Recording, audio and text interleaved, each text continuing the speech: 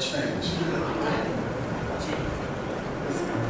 As uh, some of you may know, uh, even though I retired from the police department, I have 28 years with the Chicago Police Department, praise the Lord. I had three years with the Sheriff's Department, so 31 years in law enforcement. I retired, and then I picked up a side job doing security. Go figure. Anyway, but I uh, find myself having a lot of time to study, to read the Word, have intimate time. You know, it is awesome to be able to get paid by a secular institution while I'm studying the Word of God, preparing sermons, engaged in prayer, and they actually give me a check for that. Amen. Amen. So I just thank God for, oh, it's, it's a, Nah, he is. okay. Yeah, my boss, my boss goes to my church, so I remember saying that, and I had to look over and say, man, my boss is sitting right there. But anyway, I just thank God for the opportunity to be here, Greater Faith. Uh, they are family, and all of you are family, and I just thank God. I need to ask this question before I begin. Is there anyone uncertain or unsaved? And just raise your hand. I'm not trying to bust you out or anything. I just need you to understand my message today is not to exclude you. But my message is honed specifically, and that's why I wrote some stuff down because I want to be clear. It's for the saints. Mm-hmm. We were here Friday, and Prophet Rideau was so eloquent and moved in the power of God's presence in the house. And he dealt with leadership. And I don't know about you, but that message was so on point. And he dealt with leaders. But as he dealt with leaders, I was, when we were leaving, I shared with my wife, I said, this is nothing but God, because God has given me a message for those who are not in leadership, those who are simply, I won't say simply saved, those who are saved and, and, and just uh, call themselves a pew member. There's some people that want to call themselves a pew member. A pew member. Pew member. They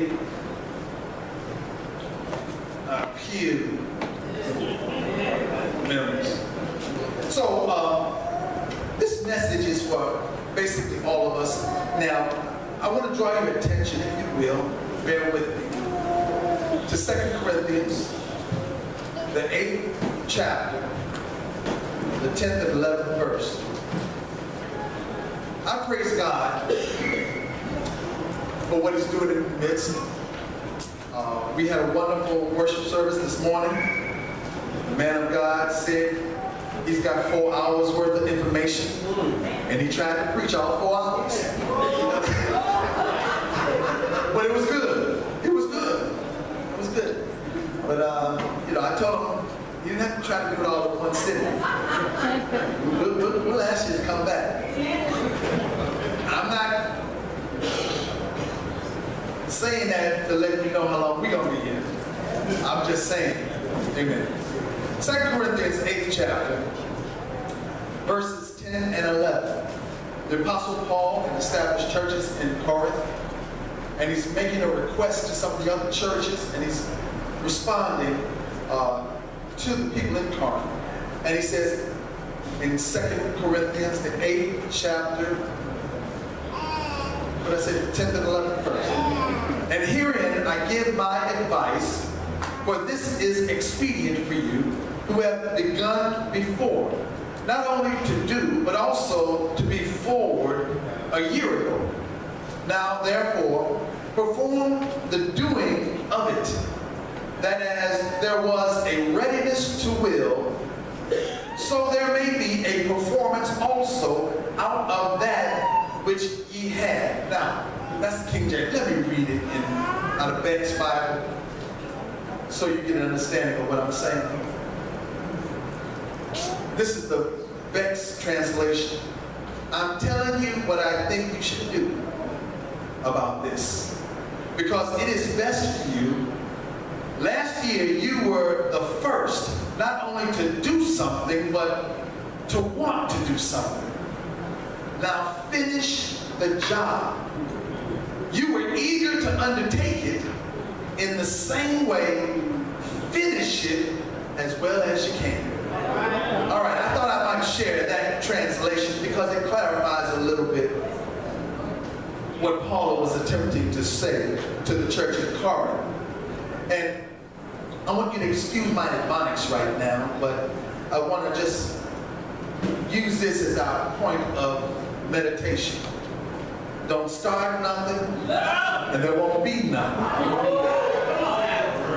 Don't start nothing, there won't be nothing. You know, there was a phrase, this phrase was used by many of us probably when we were in grade school. The phrase goes, don't start nothing, won't be nothing. And that phrase was unfortunately spoken at adverse, under adverse conditions. That phrase was usually spoken under conditions of uh, duress and potential uh, schoolyard conflict.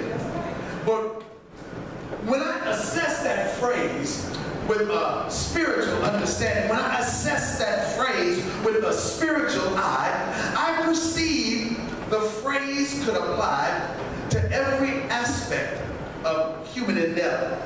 I want you to consider that for a minute. For a minute. Consider that phrase. You know, it is important for us to be able to uh, look at life through the lens of the Spirit. Uh, I'm talking to some Christians right now. I just want y'all to understand. I'm speaking to saved folks now. It's important for us to examine life critically through the eyes of the Spirit. You know, there are messages that we can look all over if we have the spiritual eyes to see. God has a word for each and every one of us if we have the spiritual eyes to see. And I want you to look at this phrase not with the understanding of a schoolyard bully. I want you to look at this phrase with an understanding of what God is trying to download into your spirit as a man or woman of God. Hear me now. Don't start nothing, won't be nothing. That phrase can stand as a tangible metaphor for life. The struggle to achieve, to make your mark, to be of significance, to be a to be productive. All of us want to be productive in life. That phrase is a metaphor that assesses the fact that we never start the journey, we could never reach the destination. If we never engage the task, we could never accomplish the work. If we never pursue the purpose, we can never realize the vision. Don't start nothing and there won't If we never put the plan in motion, we will never see the project. I want you to hear me now, saints of God. Now I feel it necessary right now.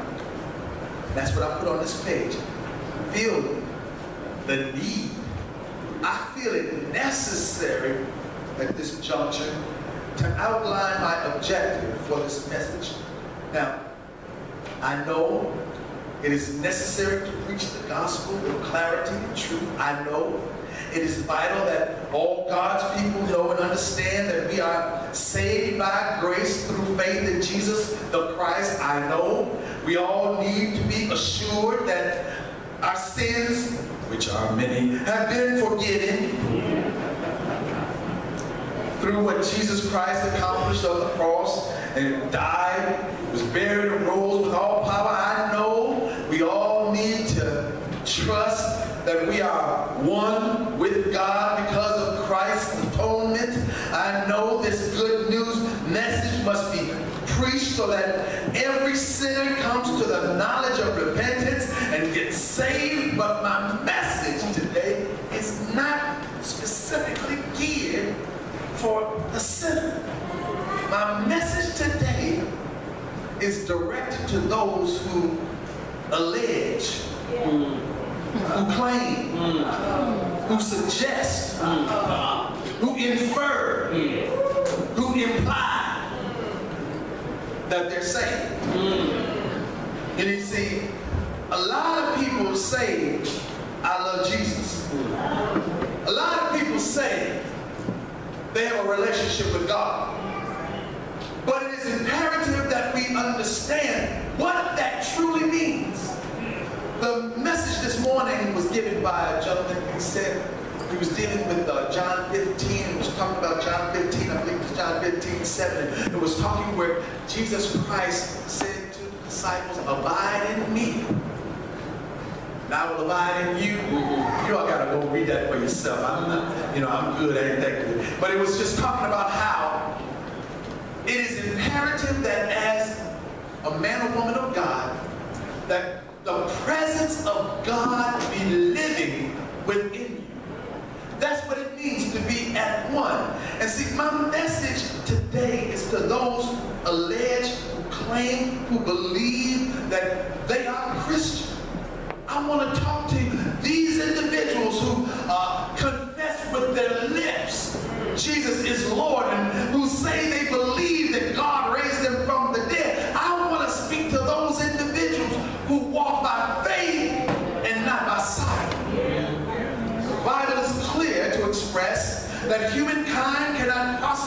attain to righteousness by our own merits. The Bible is clear to express that our best efforts to do the right thing fall short. The Bible is clear to express that good works, your good works, are not good enough to get you to heaven. That's why the Bible is clear to express Jesus the Christ as the only hope of salvation. Jesus says himself, I am the way, the truth, and the life. No man, woman, child cometh unto the Father except by me. The Bible is clear about salvation.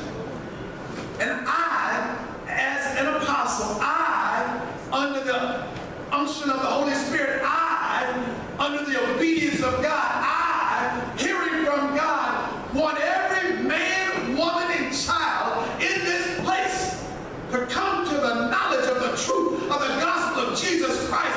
Not just because you heard the word, but that you live the word upon the earth. Yes. The people of God need to be a living expression of the presence of God upon the earth. When they see you, they should see Jesus. When they hear you, they should hear Jesus. My message is for the saved folks today. I ask the saved folks today this simple question. What have you been doing since you've been saved? What have you been doing since you've been saved? Understand me, you cannot work to earn your salvation. But after you are saved, there is a work for you to do. Hear me now. Salvation leads to sanctification. And sanctification will lead you to service if you really love God. Now, I'm not talking about nobody, I'm just talking about what I'm talking about. All right? 'Cause I don't want nobody's feelings to get hurt. See, Ephesians, it informs, informs us that the ascension gifts, the fivefold ministry gifts, the ascension gifts are given to the church for the what? The work of the ministry. Jesus calls on all believers to pray that the Lord of the harvest will send laborers into the vineyard. And he admonishes believers to work while it is day. For night comes when no one can do work. Why would he say that? He wouldn't say it to a bunch of people who didn't believe in him. He wouldn't say it to a group of individuals who could care less about him. Jesus was saying these words in the midst of a group of individuals who gave up everything in their lives, walked away from businesses, left their families, walked all over the countryside for three years with him. And he said that to them. So what is he saying to you? What have we been doing since we've been saved? What have we been doing since we've been saved? You don't start nothing. Unfortunately, the church, our families, even this country has been plagued and paralyzed by a set of twin spirits whose sole purpose is to hinder progress and destroy dreams. Twin spirits that promote apathy. Twin spirits that plant seeds of slothfulness. Twin spirits that deaden your drive and subvert your dreams. Twin spirits. I'm talking about procrastination twins. Amo and Figma. Y'all know Amo and Figma. Amo and Figma are the identical twin spirits. Amo and Figma. Going to leave that somebody knows Amo and Figma. Twin spirits that are of procrastination that attach themselves to your dreams and embed themselves in your conversation. Twin spirits that never allow you to experience the personal satisfaction of seeing a task all the way through. Amo attaches to your dreams and never lets it become a reality. Attaches to your conversation and never allows you to speak positive words of victory in your own life and never allows you to punctuate your possibility with the powerful words of God. Amo and Figma. Procrastination twins. The only way to overcome the spirit of procrastination, the only way to defeat Amo and Figma is by faith the power of God's presence and by the Spirit of God. Now, I want you to praise God with me because God has spiritual angels at work in our behalf. And I'm thinking of two spirits right now. They're called grace and mercy. Uh-huh. Twin spirits, interchangeable spirits, twin spirits that look at each and every one of us just as we are, but loves us so much that God won't allow us to stay this way. We get caught up in procrastination. We get caught up in slothfulness. We get caught up in disobedience. We get caught up in making excuses. We get caught up in putting God second to everything else in our lives. We get caught up by the twin spirits, identical spirits, interchangeable spirits, Amo and Figna, the procrastination twins. But I'm thanking God for grace and mercy. Because when grace steps into your life, God allows you to see yourself as He sees you. God allows you to walk not in condemnation, but in the power of His presence. God now allows you to walk with the full potential of who He has assigned you to be and what not what the enemy has assigned for you. Grace, mercy. It's an awesome thing. And yet we in the church, we don't do those things in our lives to promote, to encourage, to bring increase of the grace and mercy. And grace and mercy over that star. Skinniest people in the building. I ain't talking about nobody, I'm just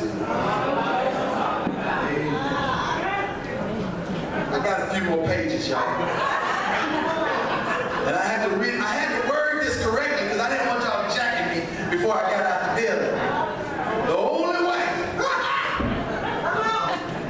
to overcome the spirit of procrastination, the only way to defeat amo and fitna is by faith in the power of God's presence resident in every true believer. The only way to overcome amo and fitna is through the renewal of your mind, through uh, uh, the transforming of your understanding. The only way to be delivered from the grasp of these interchangeable twins is through faith, birthed in the Holy Ghost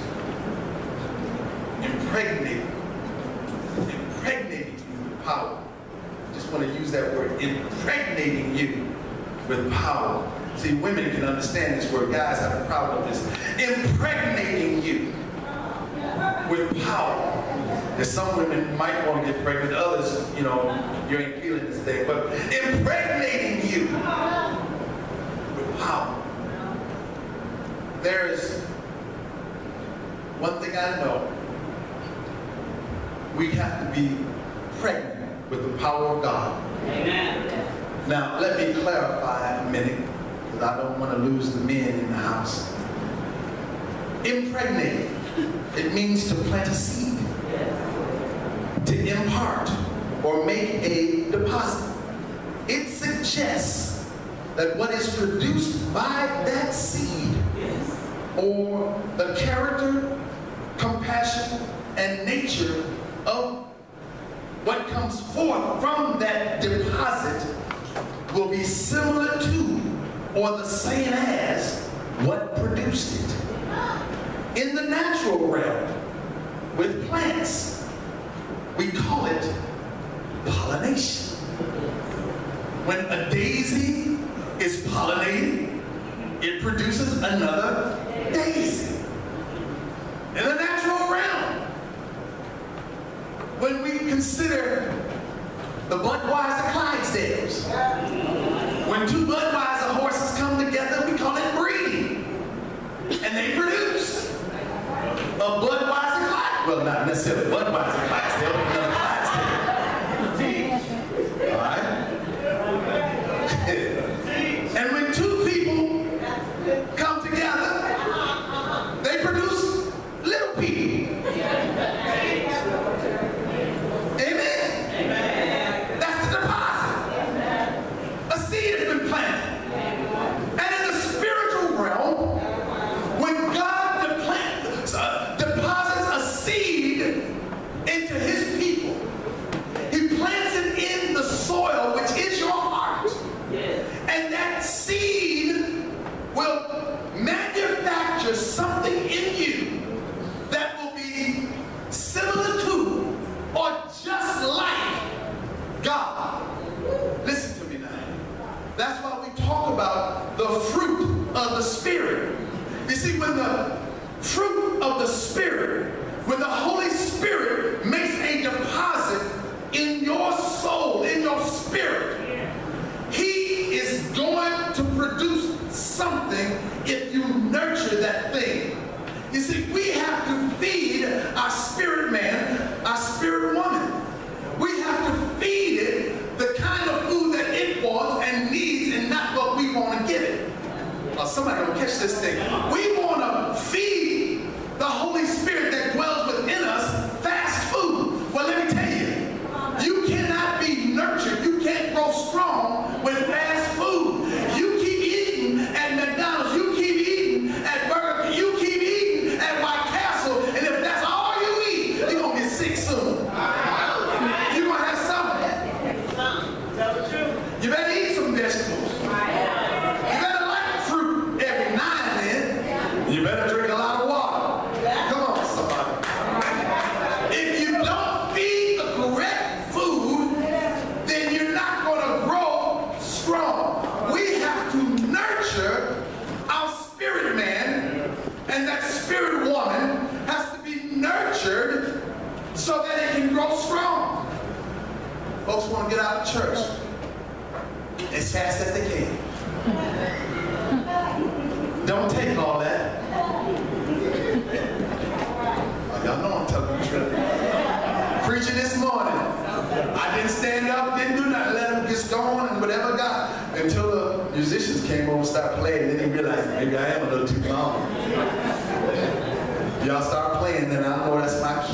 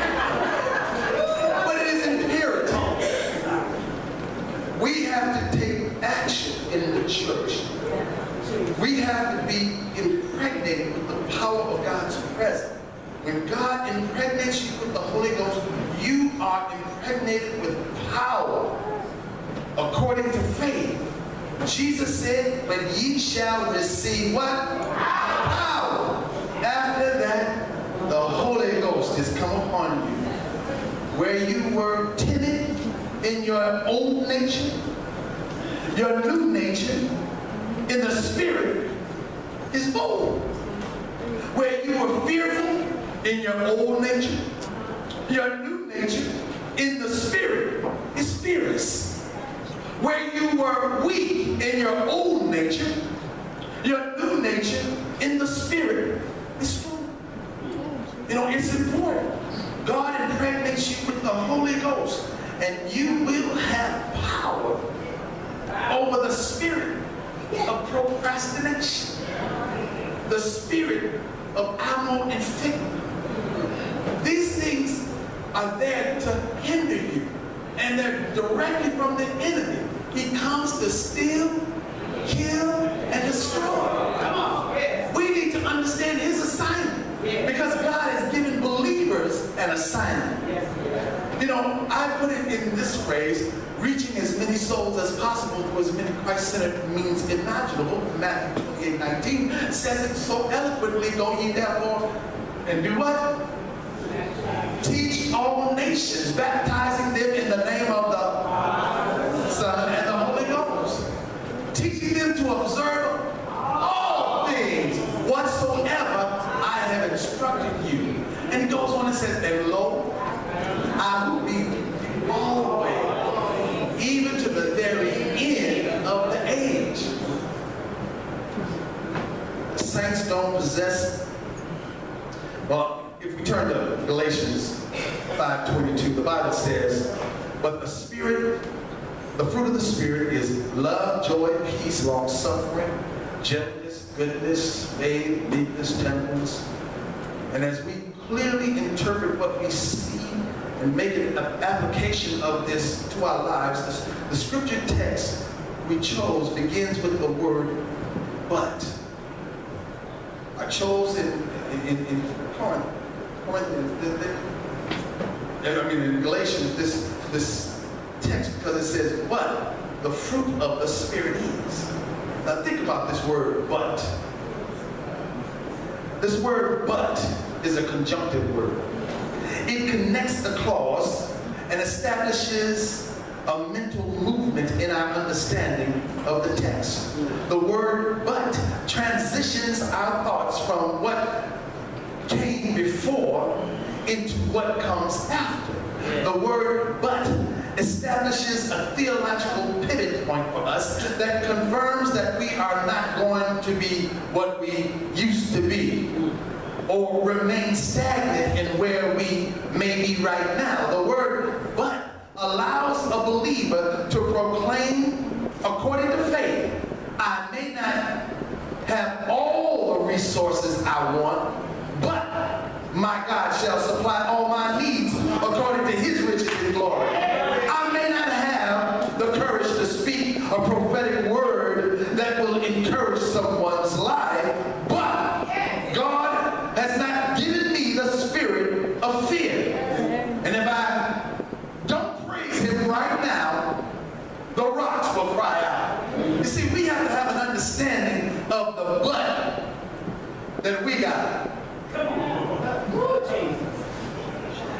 A lot of us got a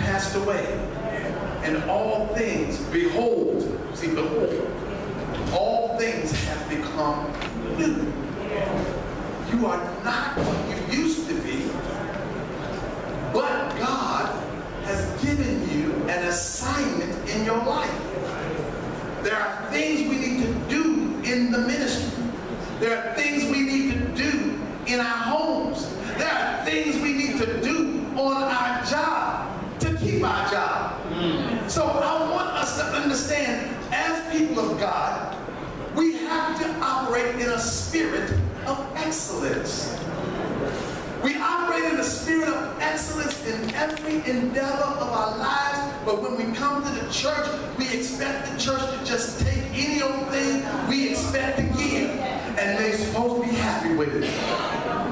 That's a lie. From the pit of hell, smell like smoke, need to go back. We need to operate in a spirit of excellence. Are y'all hearing me? in the body of Christ. And I'm just speaking in terms of our fellowship. There is a lot. I love everybody in our fellowship. But we have to stop talking and start doing. We've had a whole lot of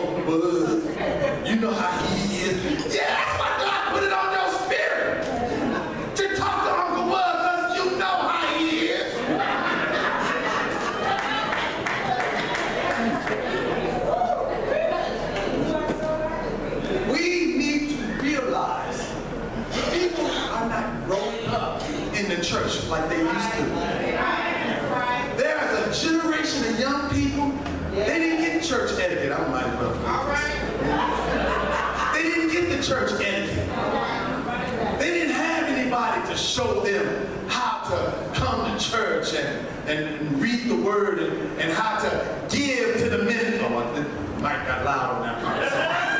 give to the ministry. They didn't have people like that. So if they didn't have anybody like that, who do you think is going to tell them? I want each and every one of you to understand something.